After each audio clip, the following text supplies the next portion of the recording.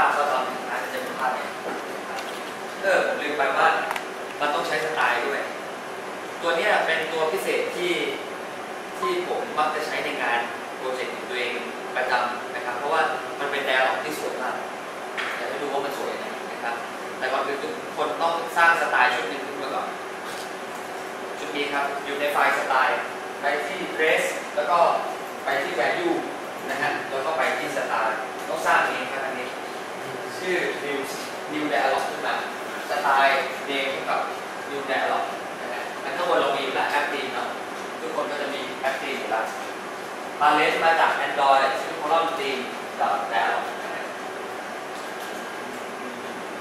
ดีกับ dialog ดีกับ dialog ใช่ไหมฮะ Android แล้วก็ Android ขึ้นกับ Android Synchron ดีกับ dialog มี พารามิเตอร์ที่จะทำให้มันสวยได้ประมาณ10ตัวด้วยกันนะแต่ว่าอันแบบนี้เอาไปใช้กับทุกโปรเจกต์ได้เลยนะครับแล้วก็เราไม่ต้องกำหนดอย่างอื่นละกำหนดแค่นี้เราไปใช้ทุกโปรเจกต์ได้เลยเดี๋ยวมันจะสวยแบบ มันจะดินดินหน้าจอในส่วนอื่นแล้วแสงสว่างจะมีเฉพาะในตัวมันด้วยสวยมากนะครับ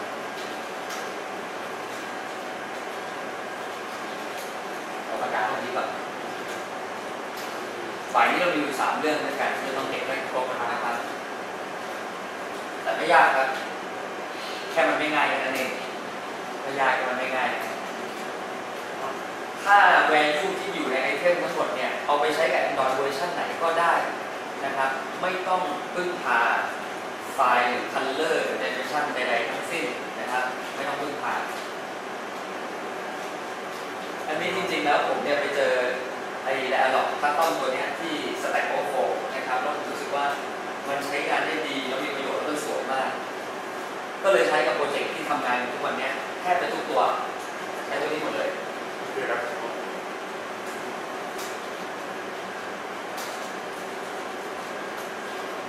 มีแอ t ทิวิวอยู่ประมาณสิบตัว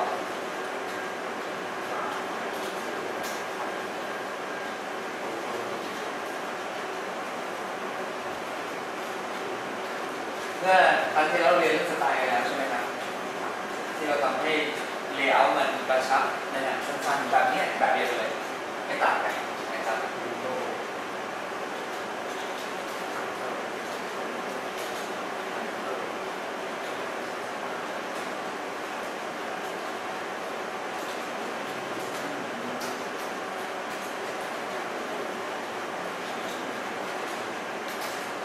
เดี๋ยวมาดูว่าตอนที่เราทำเสร็จสิ่งอันนี้แล้วเนี่ย เวลาไปเรียกใช้งานสวยแค่ไหน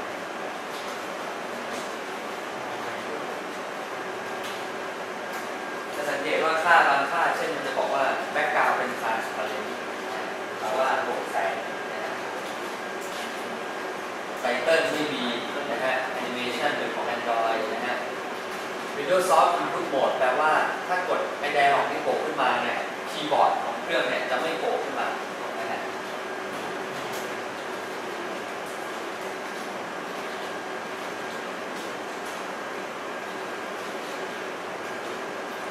แล้วก็ background นะฮะ dim enable แปลว่าจะ dim background นะครับให้ดูมันมืดเหมือนมืดมืดมืดๆนะฮะ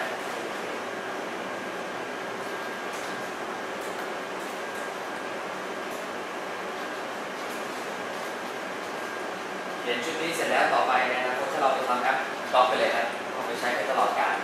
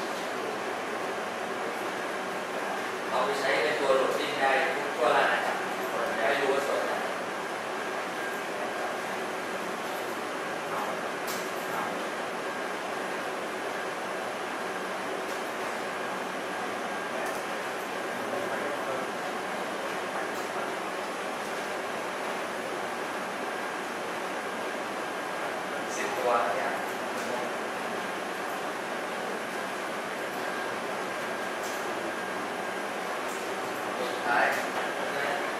ตอนไปกล่าว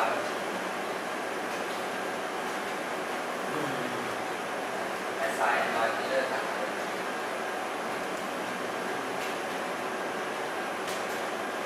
ครับดูดิอยากครบสิบตัว โอเคโอเคนะฮะ อันนี้เขียนครั้งเดียวใช้ทั้งชีวิตนะฮะ ตอนนี้เราสร้างสไตล์มาตัวหนึ่งชื่อว่า New Dialog นะฮะ เห็นไหมฮะ กลับมาที่ Main Activity จุด Java ของเราครับ กลับมาอีกครั้งหนึ่งครับ โค้ดชุดนี้ไม่สั้นไม่ยาวนะฮะ เดี๋ยวมันจะสวยขึ้นไปเองนะฮะบรรทัดที่หนึ่งนะครับ ก่อนที่เราจะเอา progress bar เข้าไปยัดใน Dialog ให้เราประกาศ Dialog แบบนี้ครับ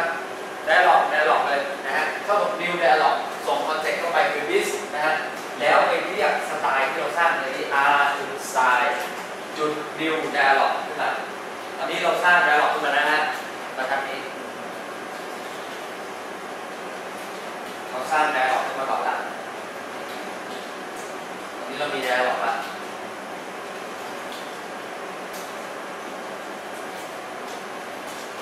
บรรทัดนี้อย่าเพิ่งพิมพ์นะครับ อย่าเพิ่งพิมพ์เดี๋ยวผมจะให้ดูอะไรอย่าเพิ่งพิมพ์ก่อนนะครับผมไฮไลท์ไว้ละไม่ให้พิมพ์นะฮะบรรทัดถัดไปที่ให้พิมพ์ก็คือบรรทัดนี้ครับ dialog จุด set cancelable นะฮะ จุด set cancelable เท่ากับ true นะฮะนะฮะคือบอกว่าให้ set cancel ถ้าเราไป touch ตัว dialog เนี่ยถ้ามันปิดตัวเองได้ไป touch แล้วปิดตัวเองได้เดี๋ยวดูว่าเป็นไงนะฮะแล้วก็อันต่อมาครับทำคล้ายๆกับอันแรกนะฮะ อันแรกก่อนหน้านี้ก่อนเราไปเทียบเรามีสวิตช์ใช่ไหมฮะ ผมสร้างอันใหม่ชื่อสวิตช์ custom dialog แล้วส่งค่า dialog เข้าไป สร้างอันนั้น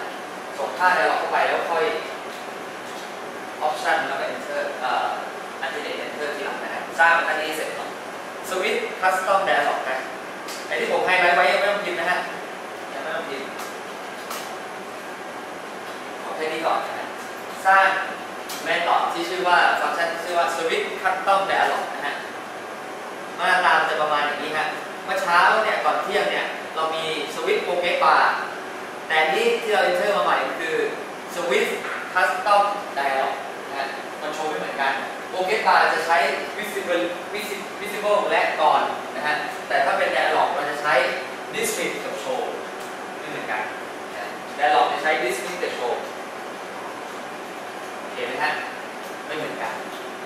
ส่งค่า dialog เข้ามานะฮะ ถามมันคล้ายๆเหมือนเมื่อเช้าเลย เอ้ย dialog โชว์อยู่หรือเปล่า นะฮะ ถ้า dialog โชว์อยู่เอ็ก dismiss dismiss ก็ตัดทิ้งนะฮะ ถ้า dialog ไม่โชว์สั่งโชว์ เห็นไหมฮะ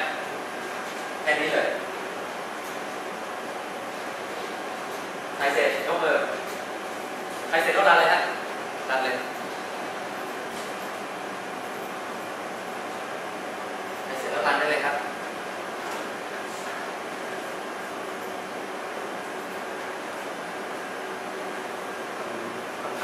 แล้วก็ลองกดปุ่มสุดท้ายนะฮะ custom dialog นะฮะ นี่มันจะต้องเบลออย่างนี้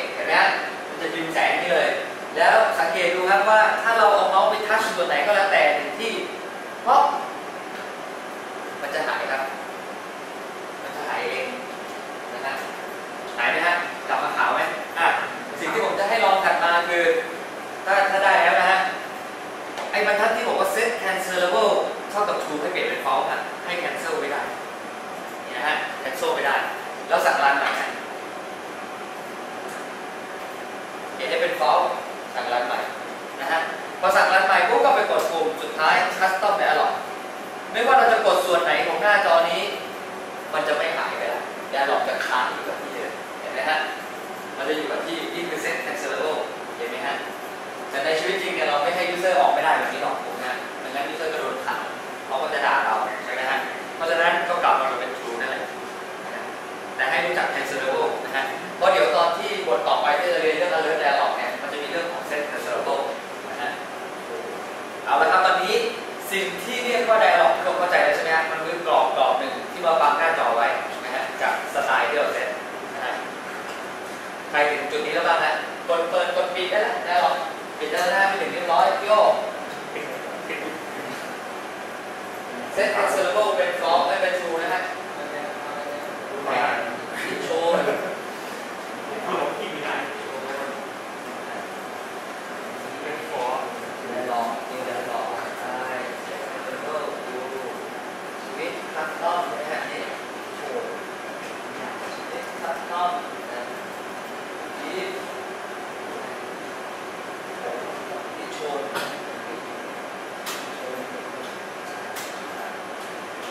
ชีวิตโชว์วิ่งนะนี่โชว์วิ่งนะโชว์วิ่งกับโชว์ไม่เหมือนกันนี่โชว์วิ่ง อะเดี๋ยวให้พี่อาร์มรันอีกแป๊บนึงนะฮะถ้าพี่อาร์มรันได้เดี๋ยวเราไปต่อเลยด้านล่างสุดนั่นแหละแต่ว่าคนที่ก็ว่าทางไหนก็ได้นะพี่อะโอเคได้โยได้ไหมได้โอเคเราไปต่อนะคราวนี้เนี่ยทุกคนได้เห็นแล้วว่าแดร์ล็อกมันคือสิ่งที่เราเห็นสไตล์แล้วก็มาซูมหน้าไว้แล้วจะทำให้มันดิบๆบึ้นๆคราวนี้เราจะสร้างโปรเกรสบาร์แล้วยัดเข้าไปในแดร์ล็อกเห็นไหมครับเวลาโหลดมันจะสวยมาก เอาละครับผมจะเปิดคอมเมนต์นะฮะdialog ที่ เราถูกสร้างเนี่ย ผมจะเอามา dot สิ่งที่เรียกว่า add content view นะฮะ จะส่งค่าเข้าไปใน dialog อันนี้ละ ยัดเข้าไปใน dialog นะฮะ dialog add content view นะฮะ พารามิเตอร์รับ 2 ตัวเท่านั้นนะฮะ ตัวที่ 1 ก็คือ view ที่เป็น progress bar นะฮะความรับ view ผม add progress bar เข้าไปข้างในสองก็คือ layout พารามว่ากว้างและสูงเท่าไหร่เห็นว่า widget ตัวนี้ progress ที่เราสร้างกันใหม่เนี่ยมันกว้างและสูงเท่าไหร่ match อะไรหรือเปล่าหรือ wrap content ผมก็บอกว่าทั้งกว้างและสูงเนี่ยเอา wrap content เห็นไหมฮะแค่นั้นเองเอา wrap content รับพารามิเตอร์สองตัวด้วยกัน ตัวแรกก็คือ new โปรแกรมบาร์นะฮะส่งค่าคอนเทนต์เข้าไปนั่นเสร็จตัวที่หนึ่งแล้วเราจะ add โปรแกรมบาร์เข้าไปในอันแรกนะฮะเรื่องที่สองที่เขาต้องการคือต้องการว่าโปรแกรมบาร์ที่เราแอดเข้าไปเนี่ยกว้างและสูงเท่าไหร่ผมก็บอก ว่าและสูงเนี่ยเป็นและเท่าตัวกันนะฮะ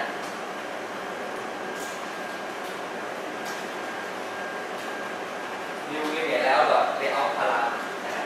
มีเดียเลเยอร์นะฮะดอทเลเยอร์พารามและคอนเทนต์ทั้งคู่ดอทเลเยอร์พารามนะเราเปิดวิวงเล็บนะฮะวงเล็บแบบนี้ บางผมวิวไม่เปิดปิดของพาราแบบนี้สินะ ผ่านผู้ชาย เดี๋ยวดีเดี๋ยวเอาแบบเอาพาราอันนี้เราก็จะเสร็จแล้วก็นะสิ่งที่เปลี่ยนไปมันจะมีโอเคบาร์เข้าไปยัดในแดร์ดอกทีนึง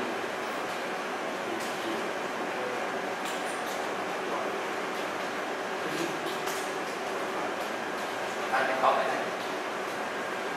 เออเงียบเหมือนเดิมครับ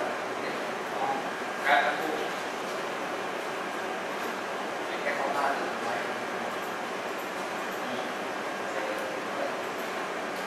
ไปเสร็จแล้วนะฮะจุดนี้รันได้เลยรับรองเหมือนเดิมนั่นแหละนไหมคราวนี้เนี่ยมันก็จะมีไดอะล็อกที่มาหมุนเอ่อโปรแกรมบาร์ที่มาหมุนกางไดอะล็อกแล้วนไหมฮะถ้าทำถูกนะฮะจะเป็นยังไงของมันแค่โอเคนี่เป็นเรื่องอะไรนะโอเคป่ะเฮ้ยเดี๋ยวก่อน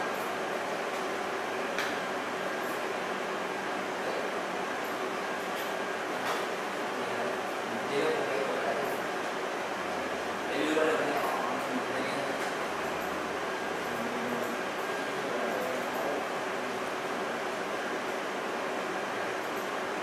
แล้วมีวงเล็บก่อนนะฮะ new linear layout ใช่ไหมฮะ ดอทแล้วพลามันอยู่เลย เอ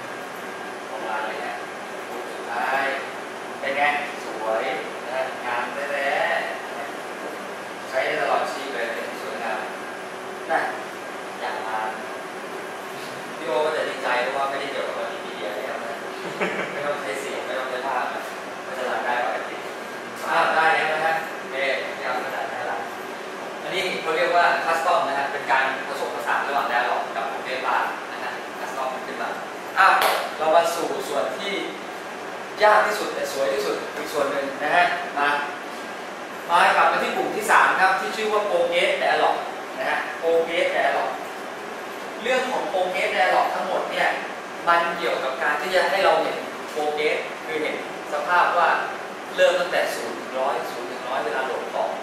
สมมติว่าเราทำโปรแกรมหนึ่งเพื่อดาวน์โหลดไฟล์ไฟล์นึงนะฮะ ในทุกครั้งที่เราเอาไฟล์นี้ไปฝากบนเซิร์ฟเวอร์อะค่า header มันจะบอกอยู่แล้วว่าไฟล์เนี่ยมันมีไซส์เท่าไหร่ เสร็จแล้วเราก็มาเทียบบัญญัติไตรยางศ์นะฮะ เพื่อจะนับว่ามันเป็นกี่เปอร์เซ็นต์ที่เราได้รับแพ็กเกจมาเมื่อเทียบกับไซส์จริงของมันตอนที่เราได้รับเป็นกี่เปอร์เซ็นต์ แล้วตัว progress ก็จะวิ่งเรื่อยๆศูนย์ถึงร้อยนึกออกไหมฮะ มาเรามาเริ่มก่อน ให้ทุกคนสร้างฟังก์ชันขึ้นมาหนึ่งตัวนะฮะฟังก์ชันใหม่ล่าสุดเลยนะฮะของตัวเอง ชื่อว่า set up progress dialog เพราะเดี๋ยวเราใช้สองที่เราเลยสร้างเป็นไม่ไม่ใช้โค้ดซ้ำหมายถึงว่าเราเราใช้โค้ดซ้ำเราไม่เขียนสองที่ set up progress dialog ก่อนนะเขียนโปรแกรมไอฟังก์ชันนี้ขึ้นมานะฮะเมื่อเขียนฟังก์ชันที่ชื่อว่า set up progress dialog เสร็จแล้ว ให้ทุกคนมา initial ตัว progress dialog แบบนี้ฮะด้วย5บรรทัดนี้ ผมจะอธิบายให้ทีละทีละบรรทัดนะฮะบรรทัดที่หนึ่งคือ new progress dialog object ตัวนี้ขึ้นมา ส่งค่า context ก็คือ list เข้าไปนะฮะสองผม set title ที่หัว ใช้ชื่อแอปก่อนถ้าตอนนี้แอปเราใช้ชื่อ progress dialog demo progress demo เดี๋ยวตรงนี้มันจะขึ้นว่า progress demo ที่หัวนะฮะเพราะเราส่ง r จุด app name เข้าไปนะฮะสาม message นะฮะผมไปสร้าง text อันหนึ่ง ชื่อว่า loading นะฮะ loading คำคำนี้นะฮะผมไม่ให้ดูผมไม่ได้ hard code แค่นั้นเองนะฮะดูดูนะฮะผมจำกด control จำไปที่ waitเราจะมีตัวชื่อ loading ทิ้งไว้ให้แล้วนะฮะแต่ว่าเราต้องไปสร้างใน string หรืออยากจะ hard code ก็พิมพ์อย่างนี้เลยนะอยากจะ hard code ก็พิมพ์ loading ตรงนี้ โอเคไหมฮะที่อยากจะ hard code ก็ได้ หรือจะใช้การจำแบบนี้ก็ได้นะฮะสามเมื่อกี้เราจะคุ้นเคยกับคำสั่งที่ชื่อว่า set cancelable นะฮะ cancel ได้ไหมนะฮะถ้า true cancel ได้ไหมถ้า true ได้นะฮะถ้า false ห้าม cancel ไม่ให้ cancel นะฮะกด cancel ออกจากงานไม่ได้จนกว่ามันจะเสร็จ แล้วถูกสั่ง dismiss มื่อเจอคำสั่งที่สิบมันจะปิดนะฮะสามแล้วก็เรื่องสุดท้ายนะฮะก็คือ set max นะฮะคือเราจะให้โปรเกรสเนี่ยนับตั้งแต่ศูนย์ max สุดคือหนึ่งร้อยศูนย์ไปถึงร้อยนะเราก็สั่ง set max หนึ่งร้อยไว้นี่เป็นการ initial ตัวโปรเกรสแล้วนะฮะขึ้นมาอ่าครับนะเดี๋ยวเราจะใช้ทั้งกลุ่มที่สามและที่สี่ เป็นโปรแกรเดเวลอปอ๋อต้องประกาศใช่ครับต้องประกาศข้าบนก่อนเป็น global นะฮะเดี๋เราใช้ด้วยกันหลายอันประกาศ global นะฮะชื่อว่าดับเลยดับเลนะฮะชื่อว่าโปรแกสมเดเวลอปครัอย่างประกาศประเภทโปรแกรเดเวลอปเป็นโปรแกรเดเวลอปประกาศ global ไปเลย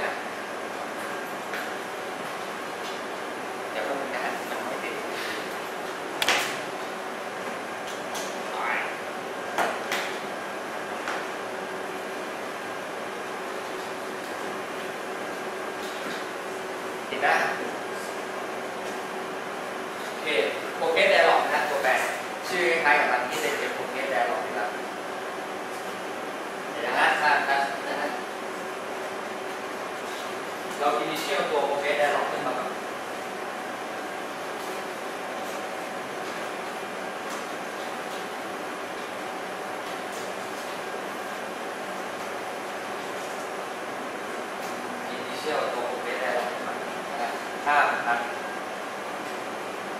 เราจะใช้ตัว Setup Progress Dialog ทั้งปุ่มที่ 3 และปุ่มที่ 4 นะฮะ เพราะฉะนั้นเราประกาศฟังก์ชันชื่อ Setup Progress Dialog ทั้งตอนที่คลิกปุ่มที่ 3 และตอนคลิกปุ่มที่ 4 ด้วยนะฮะใส่ไปเลยใส่ไปเลยทั้งที่ปุ่ม3ปุ่ม4นะฮะ4ด้วยตอนคลิกปุ่ม4เลยอ่าเราจะใช้ทั้งคู่น่ๆอ่าตัวนี้นะ เว ทยังไม่มีใช่ไหมฮะต้องไปสร้างเวทก่อนโหลดลิงก์นจะพิมพ์จะพิมพ์พาร์ทคอร์ในนี้ก็ได้ผมจะเทสติงมาดูนะโหลดได้สร้างเป็นโหลดลิงก์อ่านั่นแหละฮะเสร็จแล้วใส่ไว้ทั้งตอนตอนคลิกที่ปุ่มสามนะคลิกที่ปุ่มสี่นะใส่ไปเลยนะ สองสองมุมเลยแต่เราจะมีเชื่อมตัวนี้ตัวเดียวกัน ขึ้นมาสามและสี่นะครับเสร็จไหมครับร้อยหนึ่งไปใส่ชื่อฟังก์ชันที่ตอนเลขหกสามและเลขหกสี่เสร็จอัพโลเคชแล้วสองที่เลย โอเคนะฮะพี่โอได้แล้วนะฮะที่หนึ่งก็เสร็จแล้วยามเสร็จแล้วนะครับ กลับมาที่ปุ่มที่สามนะฮะปุ่มที่สามผมจะกำหนดสไตล์ให้โปรเกรสไดอะล็อกตัวนี้ว่าเป็น spinner spinner คือตัวหมุนนะ spinner คือตัวหมุนนะฮะแล้วก็ทำปุ่มที่สี่ไปด้วยในตัวนะฮะ เป็นสไตล์ horizontal คือวิ่งแนวดิ่งเนี่ยหมุนหมุนกับแนวดิ่งแต่อันเดิมเนี่ยหมุนกับแนวดิ่งที่ผมทำไปเมื่อเช้าเนี่ยมัน indeterminate คือเราไม่รู้ว่ามันเสร็จเมื่อไหร่แต่อันเนี้ยเราจะต้องรู้จุดหมายปลายทางนะฮะจุดหมายปลายทางว่าจะเสร็จเมื่อไหร่เซตสไตล์สองอันเลยนะทั้งปุ่มสามแล้วก็ปุ่มสี่นะฮะเป็น spinner กับสไตล์ horizontal นะฮะสปินเนอร์และ horizontal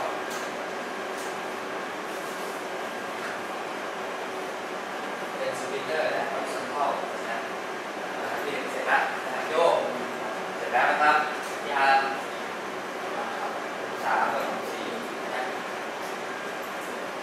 สปินเนอร์ก็เปลี่ยนเป็น horizontal นะฮะแค่นั้นเอง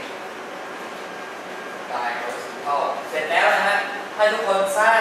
ฟังก์ชันใหม่ล่าสุดชื่อ loading frame ขึ้นมา แล้วส่งค่า m progress dialog เข้าไปนะฮะ ค่า a โ o เ e ได้ออกเข้าไป loading trade นะเดี๋ยวเราจะทำเทรดหลอกถ้ามันขึ้นแดงๆปุ๊บก็จัดการเลยนะ option enter นะฮะเราจะสร้างเทรดหลอกโดยการที่ผมจะให้มันนับ 100 รอบ รอบละ 0.03 วินาที เดี๋ยวรู้ว่าทำยังไงนะฮะลอกให้มันทำเรื่อยๆช้าๆจนครบ100รอบ รอบละ 0.03 เมื่อ 0.03 วินาที คูณกับหนึ่งร้อยจะได้กี่วิครับ คิดเร็วฮะนี่นะฮะศูนย์จุดศูนย์สามมิลลิเซคันด์นะฮะมิล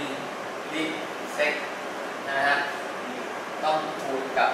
ร้อยรอบ เท่าไหร่ฮะกี่วิฮะสามวินาทีแปลว่าเดี๋ยวเราจะให้มันทำงานสามเซก ตอนหนึงการกดค้างใช้พลังงาน3เซนแอบตอกเป็นแบ็กาวด์ไว้สร้างโหลดดิ้งเสร็จแล้วใช่ไหมฮะมาส่วนที่ซับซ้อนที่สุดของแอปตัวนี้แล้วสุดท้ายแล้วฮะชอนนี้นะฮะอ้าวเริ่มต้นไปช้าๆไปด้วยกันนะฮะทุกคนอย่าอย่าไม่ต้องตกใจนะฮะไปช้าๆไปด้วยกันนะฮะเริ่มแค่นี้ก่อนนะฮะให้ทุกคนเช็คว่าโปรเกรสที่ส่งมาเนี่ยโชว์อยู่หรือเปล่านะฮะ progress ที่ส่งเข้ามาโชว์อยู่หรือเปล่า ถ้าไม่โชว์ให้สั่งโชว์ ถ้าไม่โชว์ให้สั่งโชว์ ถ้าไม่โชว์ให้สั่งโชว์ เราจะมีแฟกถึงหน้าเห็นไหมฮะ หน้า progress แบบ is showing โชว์อยู่หรือเปล่านะฮะ ถ้าไม่โชว์แฟกก็คือ not ไม่โชว์ให้สั่งโชว์แค่นั้นนะถ้าไม่โชว์ให้สั่งโชว์ไปเสร็จยกมือ ถ้าไม่โชว์ให้สั่ง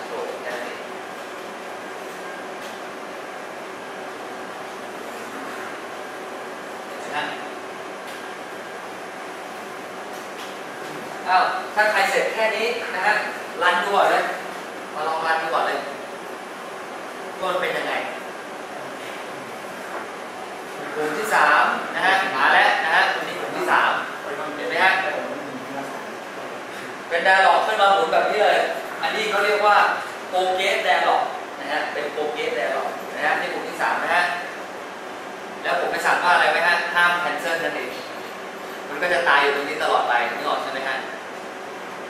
แล้วถ้าเป็นกลุ่มที่สี่นะครับ เป็นไง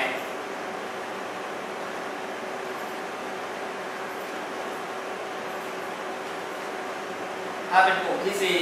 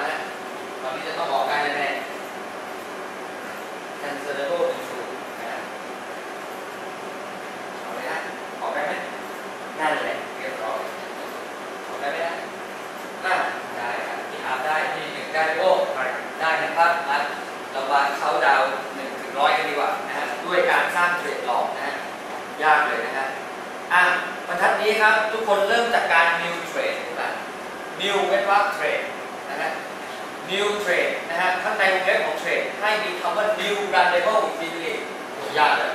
new thread ใน new thread มีวงเล็บให้ใส่ new runnable นะฮะขึ้นมาเดี๋ยวมันจะมี method override run มาให้เราเองนะฮะเราไม่ต้องเป็นเองนะฮะดู thread ก่อนนะฮะแล้วอ่าเสร็จแล้วผมที่หนึ่งได้แล้วนะฮะมี new runnable แล้วก็มีข้างในมี override ตัว run ออกมาแล้วนะฮะมีแค่นั้นก่อนไม่ถึงมันยังไม่จบเพราะว่าต้อง dot start นะฮะไอ้ที่มันติดไปมาดรอปสตาร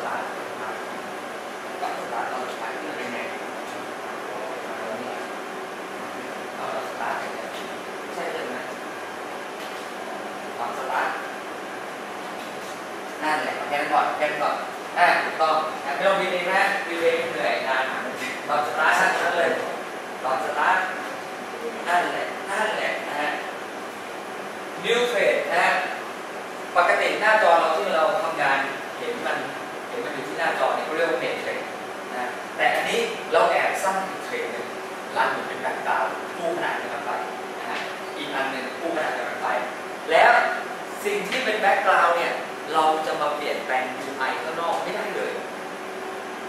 รันอยู่ในรันเนี่ยนะปกปกติอะไรที่อยู่ในนี้ทั้งหมด อะไรที่อยู่ในรันทั้งหมดเนี่ยเราเปลี่ยนแปลง UI ไม่ได้ เราไปเข้าให้เป็นศูนย์หนึ่งสองไม่ได้ อะไรที่เป็น new trade เทรดอื่นที่ไม่ใช่ main trade main trade ที่หน้าจอจะไปเปลี่ยนอะไรที่หน้าจอไม่ได้นะฮะจำไว้เลยนะฮะตรงนี้นะฮะถ้าไม่เชื่อลองหน่อยนะฮะลองดูดีกว่า ผมอยากให้ลอง ด้วยการ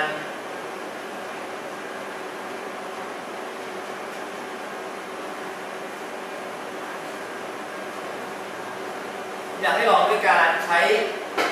M